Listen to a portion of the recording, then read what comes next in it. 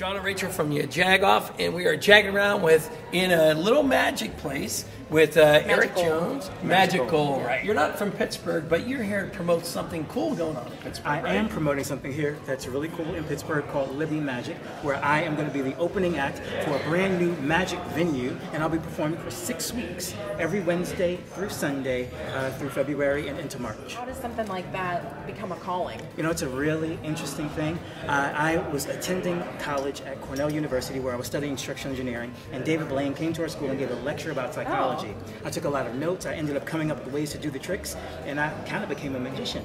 I've uh, studied magic and pursued uh, a lot of different things, and I've kind of made a name myself after doing things like America's Got Talent, where I was a finalist, Yes. and uh, a full Penn and Teller on their show, uh, and it led me to getting a call from the guys of the Cultural Trust to perform here at Liberty Magic. We all have an idea of what we think a magician is. You see a top hat, you see the tails that pull the coin out of, out of your ear, all of that crap.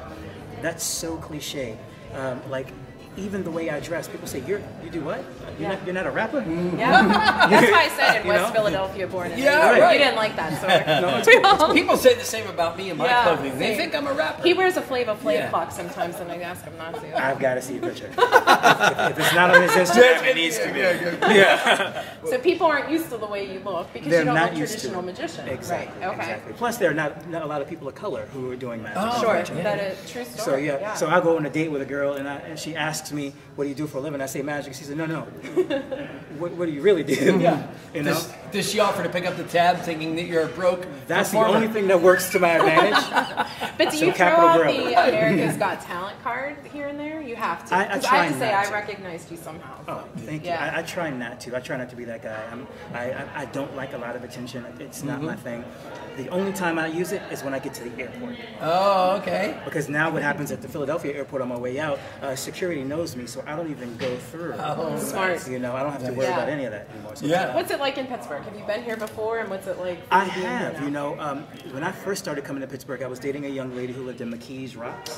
What? That's where I he's from. that's where I grew up. Oh, really? Yeah, no kidding. You read his mind. This sucks. Yes. I, I started dating a girl there, uh, and I fell in love with it uh, once I found out that this is where George Romero's from, because I'm Oh, a yeah. huge zombie fan. Zombie, yeah. So I went to the mall, and I went to some of the places where he's done some of his filming.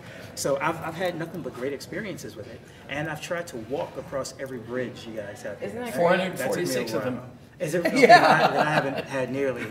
Uh, everyone should come see uh, the magic, especially my show, Impossible, here at Liberty Magic.